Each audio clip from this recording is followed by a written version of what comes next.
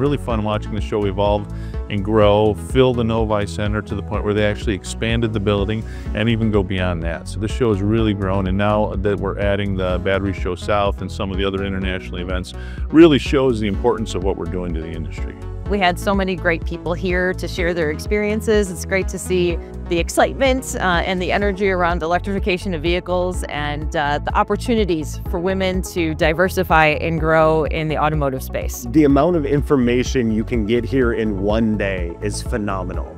So whether it's learning about new technologies or trends or manufacturing processes, you're able to cover everything within the show. This is a very right forum in order to, for us to connect with the collaboration partners, work with them to address some of the industry-wide challenges related to electric vehicle batteries.